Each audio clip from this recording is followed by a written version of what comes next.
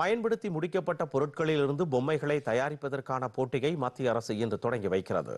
இந்தியாவை சர்வதேச பொம்மை உற்பத்தி மையமாக மாற்றும் நோக்கில் பாரம்பரிய கைவினைப் பொருட்கள் மற்றும் கையால் வடிவமைக்கப்படும் பொம்மை உற்பத்தியை ஊக்குவிக்கும் நோக்கில் பொம்மைகளுக்கான தேசிய செயல் திட்டத்தை கடந்த இரண்டாயிரத்து இருபதாம் ஆண்டில் மத்திய அரசு வெளியிட்டது.